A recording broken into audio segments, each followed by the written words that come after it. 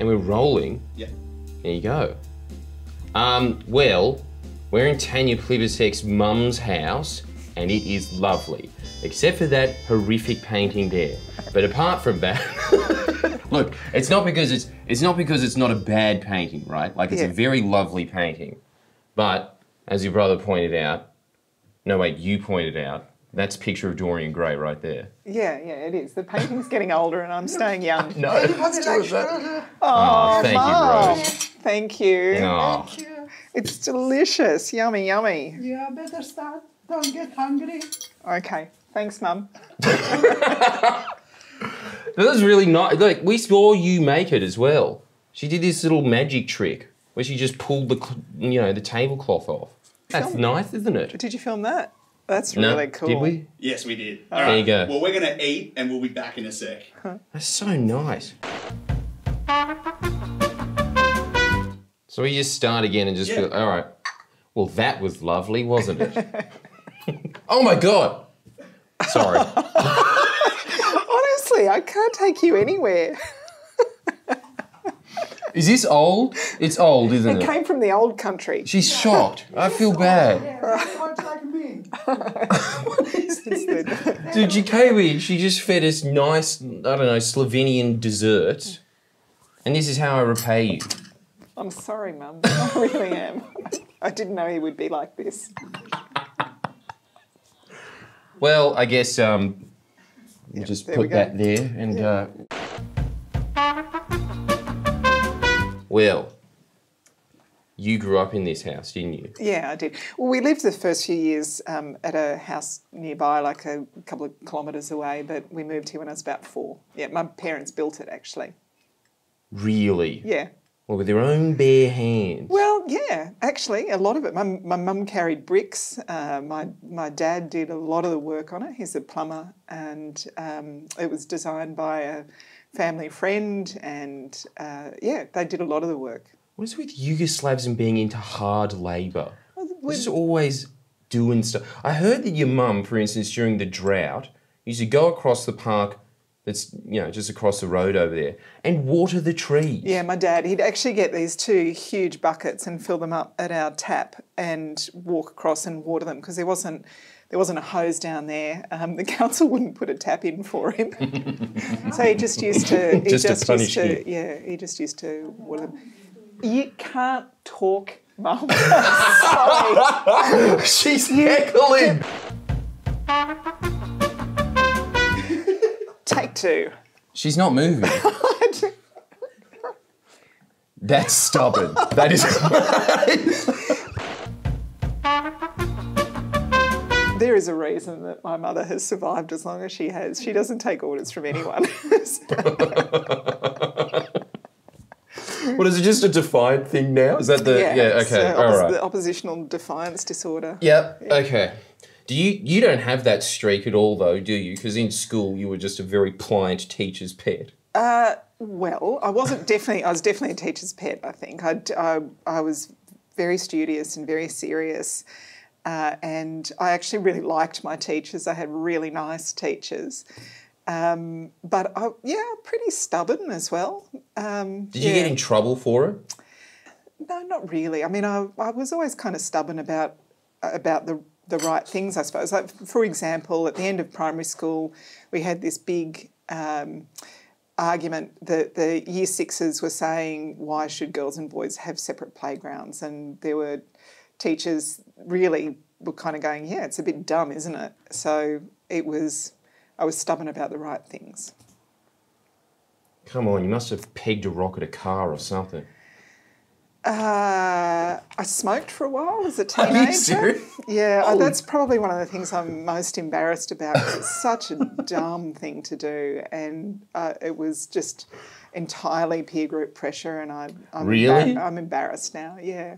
What? So it was some cooler girl at school that was being like, "Come on, Tanya, you want to go to the parties, don't you?" Uh, well, it, it wasn't. No, it wasn't any one person. It just, you know, when we were when we the- were it was kids, the there was still a lot of advertising, cigarette advertising, Yeah. and I used to smoke Alpine Lights, which were really targeted at girls for sure. Sounds it. Yep. Uh, did your mum know? she busted me a few times. I got in big trouble. I get my, I had my pocket money cut. I got grounded. I was, yeah, I got in big trouble. Yep. Well, that's nice to know that she was, you know, fine with it. Because I just imagine that back then everyone just would have been like, smoking's good for you, right? Like that's just like I'm brushing not- your teeth. Seriously, not that old. You're just talking to me as though I was smoking in the 1940s. Oh, this is like the 80s, okay, not the 40s. we knew that smoking was bad for you. Well, I, I, look, I don't know really know the timeline. I just thought that, like, you know, right up until the '90s, everyone was kind of just like Yeah. this open-ended. It was, dude, it was it was the climate change debate of then, right? Not really. I mean, seriously, knew, in the people knew. 80s, everybody knew smoking was bad for you. and um, But it was also cool. That's yeah, why it, it kind of was right. cooler than it was now. And actually, one of the things that I'm proudest of from when I was health minister was really getting smoking rates down. How do you do that? The plain packaging? Plain packaging was one thing, um, advertising campaigns uh, reminding people how bad smoking is, apps that help you gave, uh, give up. So you could download an app that would tell you how much money you were saving, how much better your health was, um, funding like uh, primary healthcare campaigns, for example, in Aboriginal communities, making sure you have targeted campaigns for specific communities, non English speaking background communities. Um, but- and and frankly increasing the cost. I mean, there's a really strong correlation between the cost of smoking and people giving up, and this is one of the reasons I'm so disappointed. I thought the government was going to ban the importation of nicotine vaping um, paraphernalia and. Uh, it looked like Greg Hunt was going to do it, and then he backed down uh, under pressure from people on his own side. And everybody knows vaping is a way of getting kids hooked on nicotine and it's a gateway to smoking.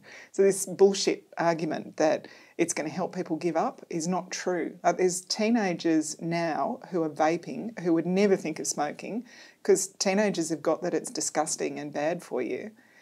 It, it just breaks my heart that the big tobacco companies think, oh, all our old customers are dying. What can we do to develop a new customer base? Let's target vaping at kids.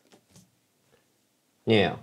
What you just said is going to be really unpopular on the net. I can tell you right now. I don't care. No, that's awesome. I'm glad that you're saying it. Because I was just saying, could you just go a little further into this? Because look, I'm I'm scared of it. Just look, that's that's your opinion, not mine. you know, like if you could just go into the, if you could just if, if you could just unpack for us a little more why vaping, uh, you know, the, the the health risks of it. Because I think I think you'd be doing a public service if you did I- that. all right. So the reason that um, the reason that uh, some alcoholic drinks are sweet flavoured and don't taste like alcohol is because kids don't like the taste of alcohol. We'll get them drinking sweet soft drinks, and then they start, you know, moving into other types of alcohol. Vaping, fruit flavoured vape, uh, um, fruit flavoured vaping is. Uh, the Does next taste better than beach, yeah. yeah, and, and then you go, and then you go, uh, okay, some has nicotine, some doesn't. I'm going to try the stuff with nicotine. Oh, I'm addicted to nicotine. Um, I can't always be vaping. Maybe I'd like to try smoking. It's a, it's just a um, really obvious path to get a new customer base. This is big multinational tobacco companies that have had their markets undermined because their customers keep dying. Now saying, where do we find our next lot of customers? And it it really breaks my heart that um, a lot of teenagers think that it's cool. I mean, how dumb is it to give people money to make you sick? See, look, the the argument that I'm always seeing from think tanks that are clearly funded by tobacco companies, take what you will from that. Um, they always say that it reduces the amount of people smoking because it gives them a healthier alternative. So is there evidence to support that, or I call bullshit. yeah, fair enough. Yeah, I think that's probably the right move. Seriously, 13% of Australians smoke now. We've been getting that number down, the, the proportion down, year after year after year. And the least likely people to smoke were teenagers. Uh, if you didn't start smoking by the age of 21, you were likely never to smoke. So we've got this group of people who we've successfully convinced that smoking is bad for you. In fact, it kills you. And by the way, it's expensive too that it's a dumb thing to do, but oh, we've got this new product that appeals to them. It, it just is heartbreaking. Yeah. Especially when you're a tobacco company, you've got all the money in the world. Why not just invest in shapes? Know? like just something else. Well, they're pretty addictive too, shapes. exactly. Exactly. yeah. Look, I'm really glad that you said that, and thank you for it. But uh, you're also the Minister for Education, aren't you? I am. Well, Shadow the shadow Minister. minister. You wish you were the Minister for Education. Yeah, kind of do, yeah. Does that eat you up inside? Uh, no, because we live in a democracy, and I, I'm, you know, I, I'm um, resigned to the fact that we lost the last election. I wish I was the education minister, um, but we we didn't win, so I'm not. So I have to work harder for next time and make sure that we're ready to govern. Were you really sad on the day, or were you kind of like Albo, just being like, "Yeah, I kind of expected this should happen"? Like, were you were you like uh, very shocked at the result? Uh, I was nervous right through the campaign, and um, and the only time I really thought, oh yeah, okay, that looks good, is about six o'clock when the first exit polls came out, and there'd been a three percent swing towards us, and that was enough for us to win. Uh, and then, as the night progressed, it became apparent that that swing was not consistent, and it was er- eroding um, as as I watched, and it was pretty hard, pretty hard night. Yeah. So Ugh, I it's like a I NRL really think- grand final, except in slow motion. It's over like hours. Yeah, and uh, you know, I'm a um, I'm a nervous campaigner anyway. Like I always think we're behind. Even in 2007, uh, you know, when Kevin won that Yeah. very strong victory, I was nervous right through the campaign. It wasn't until well and truly into the night that I was prepared to go. Okay, we've won this. Right. Do you think that you're ever going to lose your seat? Do you do you is that like just a Yeah, little I- thought in the back of your mind every I- time there's an election? I worry every time. Of course I do, but not just at election time. Like I, I. Oh, sorry. Um, I didn't break it at least. no, no. You're very polite. Um, I, I, I treat my seat like it's a marginal seat, and that means campaigning all the way through. It means making sure that you're available to your constituents. It means uh, being visible in the electorate. So uh, it's a bit strange during the COVID lockdown period, but when it's not like this, we do street stalls and market stalls and um, lots of events where people can talk to me on the weekends just to make sure that if they want to raise issues with me, they can. Right. So you're basically the opposite of a Nationals MP. Well, I, I, there's there's been a few nice ones over the years. I've got a, a few old friends in the National Party. I like I like those old country gentlemen sometimes. I do like the fact they wear hats. Yeah. Um, that's more of that. Is Yeah. the only thing that I can add to that. I, was just assuming that you were going to be mean to them. So No, no, no. I, I, there's some of them that I like, um, and over the years there's been quite a few that I like, uh, but I, it doesn't mean that I always agree with their policies. And I think um, I or think ever. I don't think you agree on anything. Uh, I'm strangely some of the Nats. Uh, actually, if you ask them, for example, some of them are campaigning at the moment for an increase um, to Newstart or JobSeeker, as it's now called, because they know that if you increase funding that goes directly to the poorest people, that's really good for regional economies because people spend money in their local community. You increase Newstart or JobSeeker, if that's what we're supposed to call it now, and that money, you know, the extra 20 bucks, 50 bucks, 100 bucks a week goes to the local shops. It creates work for other people in the local community. So that's a really good example of where you'll find agreement. Damn Nationals. Yeah. Always pork barreling. Yeah. um, I mean, some of them I'd say are probably a little on the um, extreme climate change denier um, scale for me. That I'd find that very difficult to deal with. And one of the other disappointments, I suppose, is when the National Party hasn't stopped cuts to education or cuts to health because rural and regional communities are disproportionately affected. If you cut needs based funding to public schools, it's rural communities small schools, remote schools that really feel that, and um, and it it's not right that they didn't stand up for their school kids. Yeah, I because I lived in uh, this town called Lithgow for a while, and this was while Gonski funding was going through it. And th- these are the lowest of socioeconomic status that there is in the country, right? This is like way down the totem pole. And I can't remember the exact stats, but it was something along the lines of most people that were graduating year 12 uh, were finishing in like the bands threes and four after Gonski, I think it was something along the lines of 80% of the kids graduating were getting five and six. Yeah, look, And the, these are poor kids. I mean, there's a red rooster in that town to give you an idea.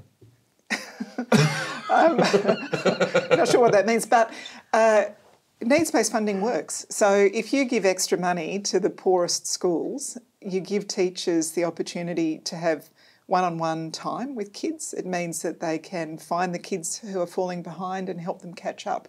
It means if kids have a, a disability, uh, a, any sort of learning difficulty, or, or if they're gifted and talented, you can spend the time with them to help them make the most of their gifts. And we know that children from disadvantaged families or in disadvantaged communities often start school uh, behind their peers. Um, I've, I've had teachers tell me that they they see kids who don't know, like they open a book and they don't know whether it's the black bit you look at or the white bit. Like they they don't know how to use scissors because their their um, gross motor skills and fine motor skills are underdeveloped. Really? If you can if you can get in early Yeah. with kids who are disadvantaged in some way, you can change their whole life trajectory. That's why education's such an exciting portfolio because you really genuinely can change people's lives if you get it right. Yeah. And What's the window frame? Sorry. What's the. uh, well, y- if, if kids don't have the basics by age eight, they often struggle to catch up. So you, you can help them catch up, but it, it becomes much harder. The older the children get, the, um, the harder, bigger, and more expensive the intervention is that's needed. But if you're working with kids, even before they start school, that's why having um, preschool for three year olds as well as four year olds, and, and also working with families like, because a, child's parents are most often their first educator. If you've been brought up in difficult circumstances yourself, um, it, it can be, you know, you see intergenerational trauma in families, for example. If you can work with that family when their children are little to make the parents confident first educators of their children, you, you change that family and you change the life of that child. And I, I just think it's such a fantastic investment because you, you change the life of the individual person, but you also you, you change our prosperity as a nation. Yeah. We we invest in education for the individual benefit to the person, but that investment also benefits all of us. If we want to be a prosperous, successful 21st century nation that invents and discovers things and commercialises them and sells them to the world, the best way we can do that is invest in education because our productivity as a nation's been sliding, our, our labour productivity has been sliding. Um, there, there's, a, there's a solution to that that starts with little children. Yeah. You're like this nation's mum, aren't you? It's pretty cool. Three, Isn't it- three's enough. I don't know what I'd do with 26 minutes.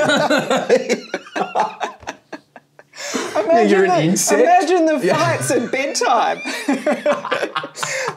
How- would you choose who got to watch their program on TV? Yeah, you, well, there you go. You'd have to do a, a bloody postal vote for it. yeah. Yeah. I guess. Yeah. Have you? Uh, I, I, I will go back to Gonski and his. Uh, actually, no, we're talking about it now. How did the Liberals mess that up? Well, they how did they mess it up? Um, they capped the share of funding that came from the Commonwealth government, and that meant that the poorest states, like Tasmania, like the Northern Territory, were getting less funding for their kids. Um, they also essentially, I I don't want to tell the whole story over again, but we when Labor campaigned against their funding cuts, so the 2014 budget, the horror budget that Joe Hockey and Tony Abbott said lifters and leaners, right? They basically cut $30 billion out of education. Yeah, So yeah. instead of funding growing you know, like this. It, it still grew a bit, and they kept saying it's still growing, but it grew like this instead of like this. um, and their own budget papers showed that it was a $30 billion cut, but it hit public schools the hardest and Yeah. it hit the poorest states the mm, hardest. Mm.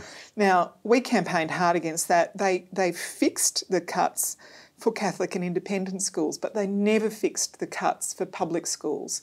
So, public schools, where the bulk of our children from poorer families, poorer communities, bulk of kids with a disability, bulk of Indigenous kids go to public schools, they never got their funding sorted. So mm. I'd say the, the short answer to how they stuffed it is um, that they have continued a system where the gap between what happens for the richest kids and what happens for the poorest kids gets wider and wider. Yeah. And this is the main point that I wanted to ask you. What do you think the opportunity cost has been for Australia just by the Liberals being elected for the last seven years and doing exactly what you're talking about, which is just systematically defunding public schools and universities in TAFE? Yeah. I think TAFE got it the hardest, right? All right. So with schools, our results keep going backwards. Uh, like you look at all the international testing, our results keep going backwards. That's just the simplest illustration of the problem. Um, with TAFE, they've cut $3 billion from TAFE and training. We've got 140,000 fewer apprentices and trainees than when the Liberals were elected. And what does that look And we- like well, it, in the in the community when that well, it looks like um, it, it, it looks like a young unemployed person who can't get a traineeship or an apprenticeship. It, it, you can be like I was in a town in northern Tasmania um, last year, and the local butcher was telling me how hard it was for him to, to find an apprentice because TAFE had been cut, so there wasn't any there wasn't anywhere they could do their training. He, he wanted to hire a, a butcher, but he couldn't find a trained butcher, and there's youth unemployment in that town in the high teens. So you, but that kid can't get the traineeship, can't get the TAFE education, and the employer can't find the staff they need. So three quarters of Australian businesses say they can't find the trained staff they need. Even before COVID 19, we had close to 2 million Australians who were out of work or wanted more hours of work. Hmm. We had 140,000 fewer apprentices and trainees. Right now, during COVID 19, we're losing apprentices and trainees at the rate of 2,000 a week, and we've got youth unemployment that's going through the roof. So last month alone, 100,000 young people joined the unemployment queue. We lost 2,000 apprentices and trainees a week, and we made it harder and more expensive to get into university. Like, we have this absolute nightmare scenario on our hands where there will be some young unemployed people today who will not work for years. They might not work for decades. What we saw in the 1990s recession is that some people who lost their jobs during that recession never worked again. And we can we can reduce the impact of that now by making sure that we've got enough apprentices and trainees. That if the Commonwealth government is funding a new road or bridge or building or whatever, why aren't we insisting on apprentices and trainees on that work site? If we're funding aged care or childcare or the health system, why aren't we ensuring that we have apprentices and trainees, for example, in childcare and aged care, disability services? They're all areas where we could be um, investing to see employment growth. Uh, we could be insisting that there's a workforce plan where the employers, the unions, TAFE work together to make sure that we're training people to, to fill those jobs. We actually had an extraordinarily high number of people on temporary visas filling those employment gaps last year.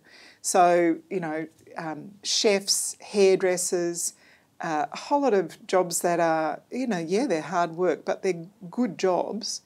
We filled them with temporary skilled migrants from overseas because we weren't training Australians to do them. It, it's the same in the health workforce.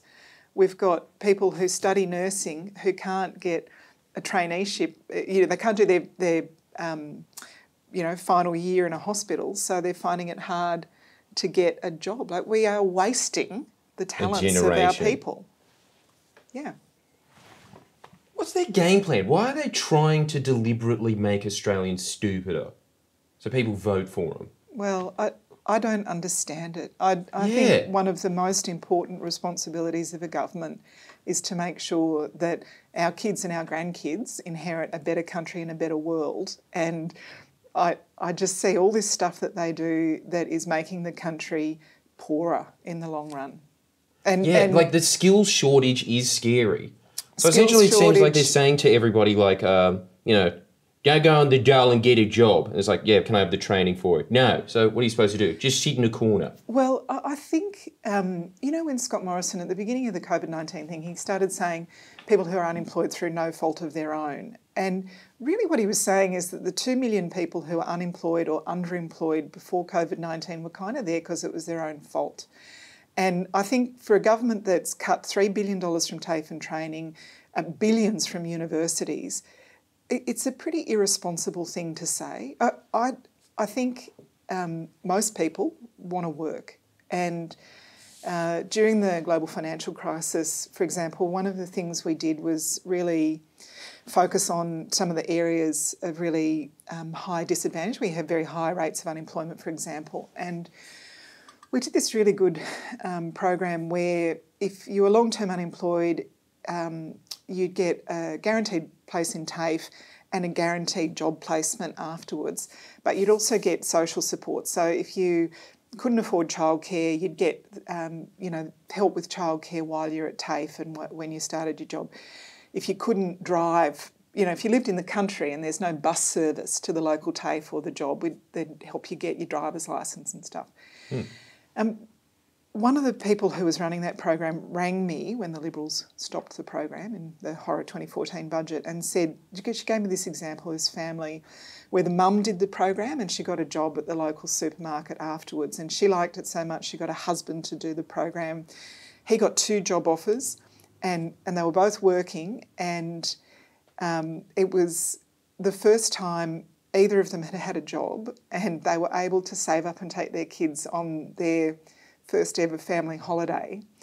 And the really important thing they said was that they it changed the way they were able to support their two sons to complete their education and think about what an employer's looking for to give you a job.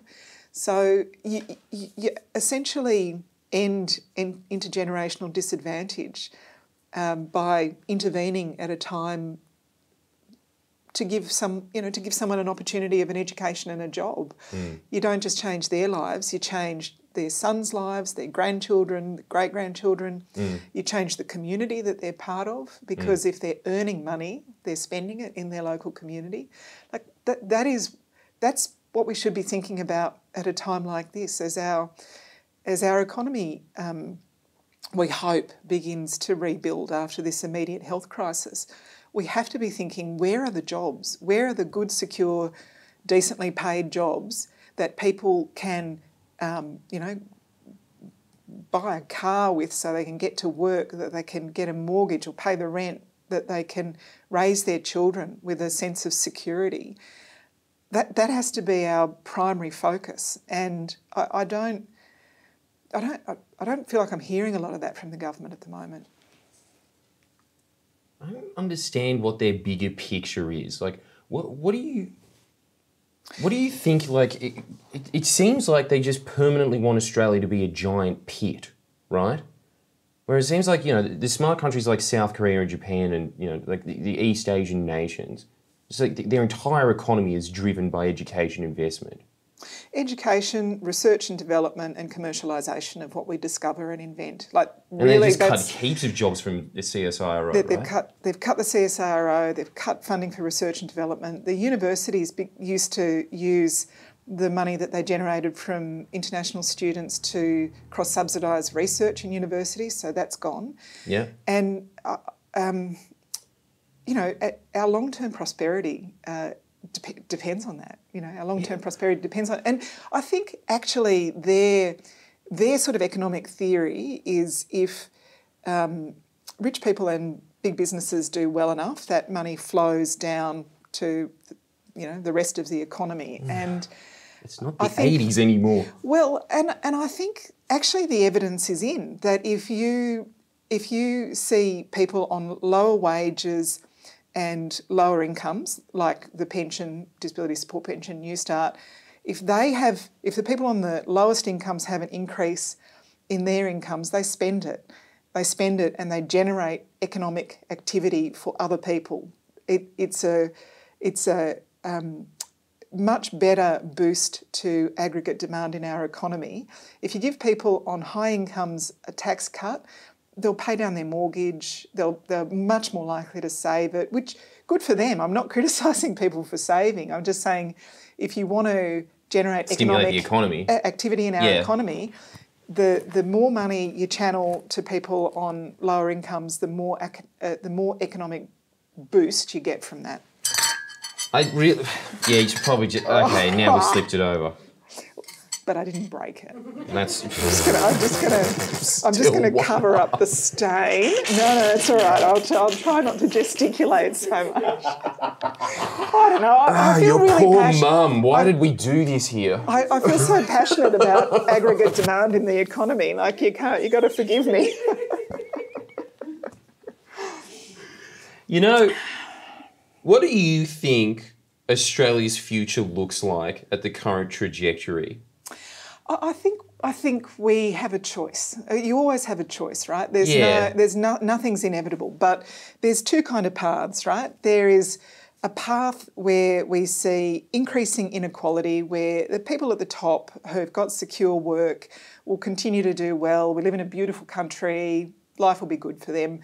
But you'll have an increasing underclass of people in insecure work who can't afford housing, who you know, if something happens to them and their income stops for a while, they're really stuffed.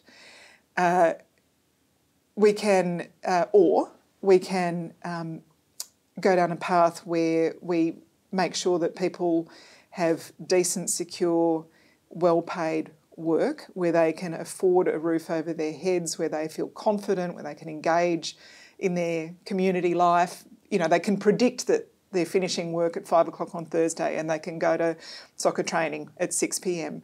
That sort of, you know, attachment to the community that they live in. We can choose to invest in education and um, increase our national productivity uh, and, you know, have a, a rich um, stream of things that we are selling to the world that we have invented or discovered or grown or whatever transformed here.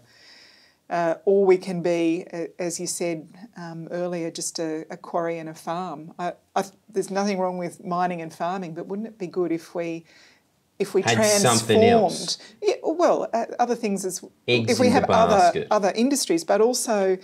Like if we're if we're digging things up here, why aren't we processing them here? One of the reasons, of course, is that energy costs are really high, Mm. but we've got un- unlimited opportunity for cle- cleaner, cheaper, renewable energy that we're not making the most of because we've got a government that is actually ideologically attached to pollution. Like they actually think anything you do to reduce pollution is a problem. Um, I like how that's their grand vision. Just making sure that like chimney stacks are going. "Bleh." That's that's it seems like that seems to me like what Scott Morrison's vision is to just be like, ah, a better world. Well, he's the guy that brought a lump of coal into the parliament, you know? Like Yeah, it's didn't get soot on his hands either. yeah, I don't know how he did that now. Anyway. Yeah, Um, miracle worker. The God he prays to's the right one. But but like the, the, the these things are all about choices, right? Yeah. Government is all about choices. When when you are uh, when you are in government, uh, um, you th- there's a hundred great things that you could do. The skill is picking the, the 10 most important best that'll have the biggest impact on people's lives. Uh, Yeah, it or- is insane, isn't it, that they were saying to you, th- th- this seemed to be their line the entire time of just like, we can't possibly afford Gonski, which is $30 billion. Yeah, yeah. They've made decisions just in the past couple of months, like just an increase in defence spending of like $270 billion, Yeah, right? It, it, it, it's what where your priorities lie for 100% for sure. Yeah. Uh, I think the other really good example is in aged care, home and community care. Right, there's more than 100,000 people who've been um, assessed as needing and being entitled to home and community care who are waiting on a waiting list, right? And we've got people who are unemployed who could be doing the work, looking after them, but we we've chosen not to spend the money caring for those old people and employing the people who would look after them. That's a choice the government has made. We make choices like that all the time. Uh, In fact, that's kind of what democracy is. Democracy is about choosing the group of people that that most closely uh, aligns with the sort of choices you would be making if you're in charge of that budget. Don't really get that point. but um, All right, okay, I, I'm not going to talk to you about democracy then. my, my favourite subject. no, but uh, like government is all about choices. There Yeah, are right, right, choices. unlimited sort of things, options that you could make, uh, options you could uh, choose, and what you're trying to do as a voter is is choose the bunch of people that you think have the closest values to you because they're acting on your behalf to spend the money that the Commonwealth raises yeah, through yes, taxes. yeah, yeah, yeah, yeah. No, okay, you're still you. No, I'm you're not- there. I'm there. It only took me twice. You're a good education shadow minister. I'm a, I'm a poor, a poor communicator though, obviously. No, the whole time I've just been learning heaps of stuff. Is it wrong to ask a question? yeah, the tough questions to you. The other one, uh, the other thing that I was just thinking about then is, you know how there's uh, look, I, look, you heard this a lot as a kid. Seemed like every second 60 minutes documentary was like the brain drain. What's happening in Australia about that? But uh, recently, just because I've just been reading into it, basically just so I could say something that sounded kind of smart to you.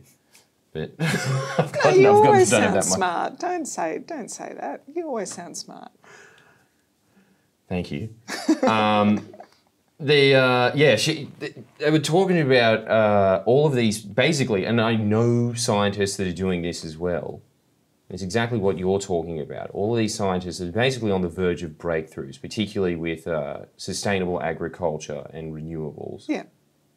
that we paid for. Like we paid for their education right up until their PhD. Yeah. And then the Liberals cut the funding, going, we shaved, you know, like the, uh, the bar was going up here and now it's gone here in terms of savings.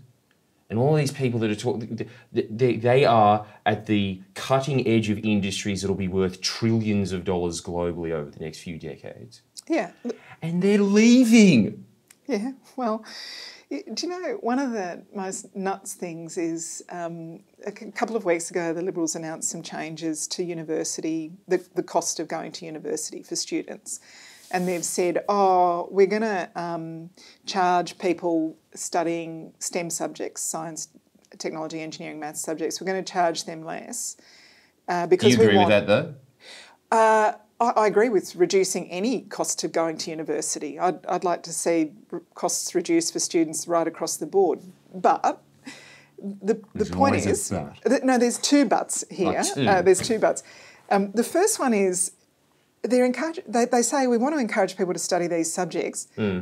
but they're cutting jobs in the CSIRO, for example. They're cutting research funding. They're cutting research and development funding. Where are the scientists going to work? Like, Yeah, what- where are they what- going? Pantene Pro V Institute. What, what kind of, you know, what kind of sense does it make to say we want more people studying these subjects? Oh, but by the way, we're cutting all the funding that supports the jobs that they're currently doing, uh, and there's there's Weird. It's like a government subsidy for other countries. Well, we do lose a lot of people. I, I mean, I think a lot of people would love to live and work in Australia if they could fund their research here, and and they try and Yeah. they can't. Yeah. No, I hear that story all the time. Mm.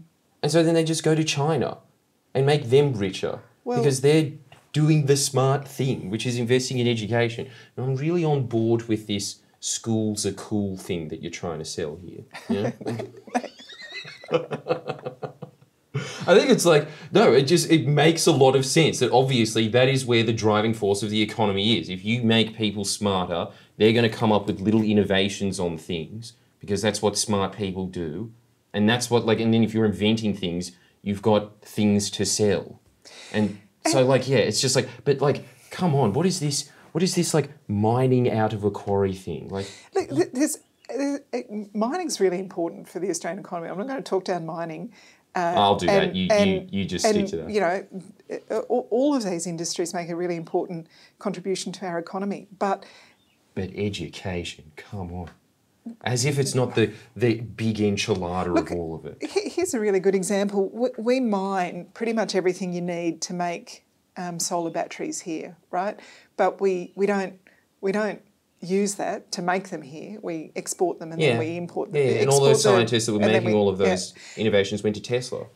So, I, I think we could um, we could do uh, we could do the next step of uh, a lot of our industries better. You know, the, Yeah, the yeah.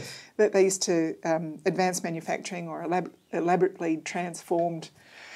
Um, uh, you know, products like eh, anyway, we, we've got we've got three times the we produce three times the amount of food we need to feed ourselves.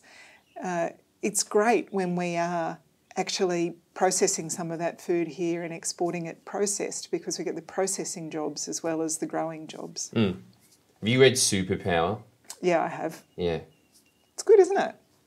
See, this is the whole thing that I'm telling you kids, right? She's on the ball.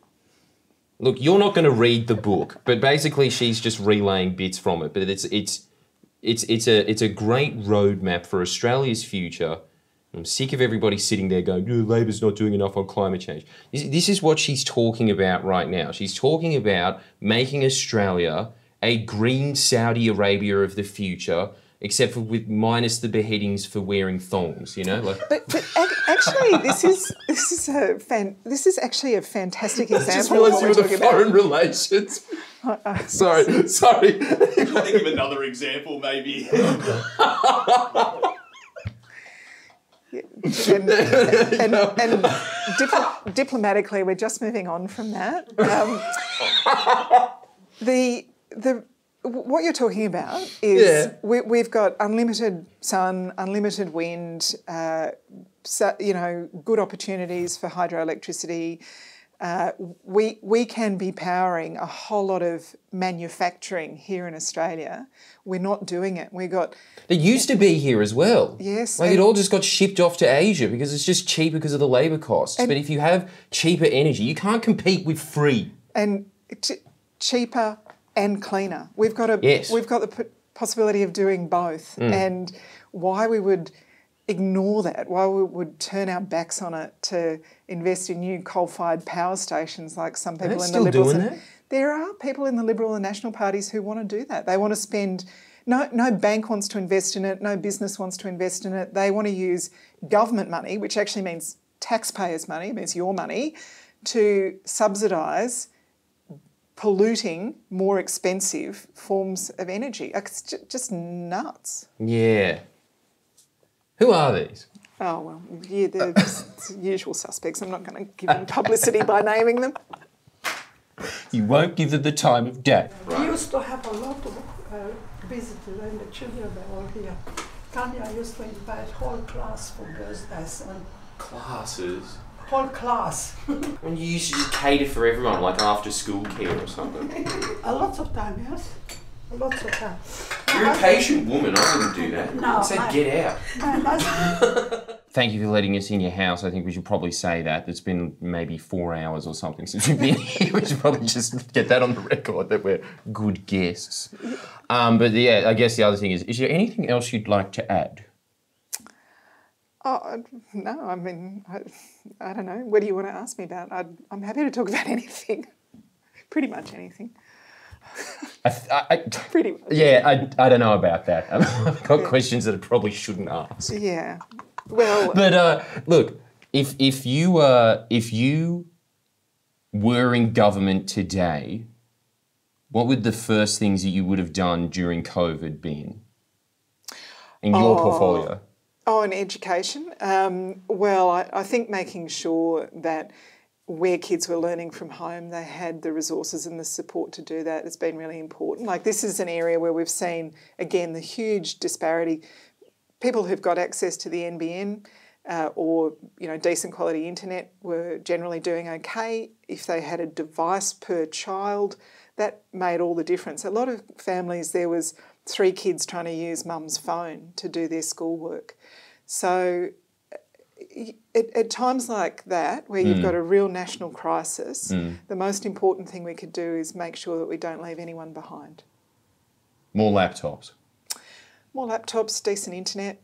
Um, Yeah, that'd be good. Yeah, that's a, that's a really important start. And Yeah. and then when kids get back in the classroom, making sure that w- we pick up if if kids have missed out on any work, if they've fallen behind for some reason, making sure that we help them catch up. And and that actually means more teachers, tutoring if you need it. It it actually means investing in those kids individually to to help them catch up. Hmm.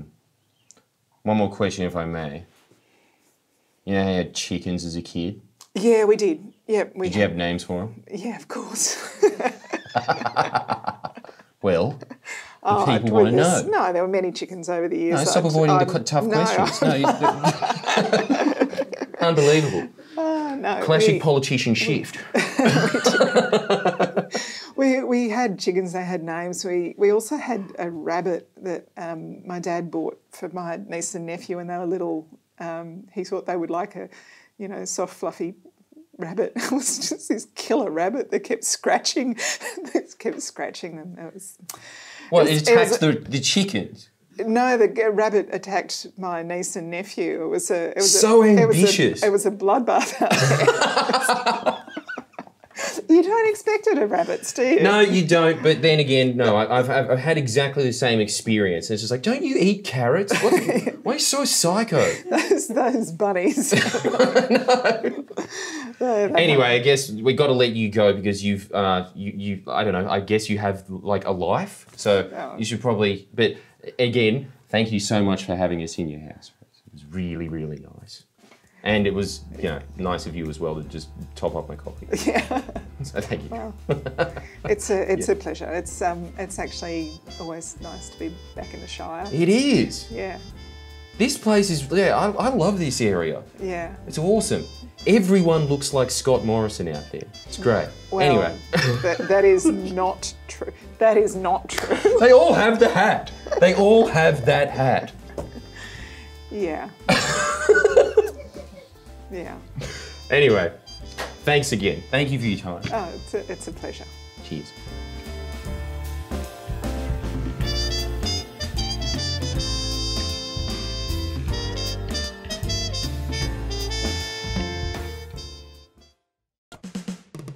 Please share and comment below. Comment.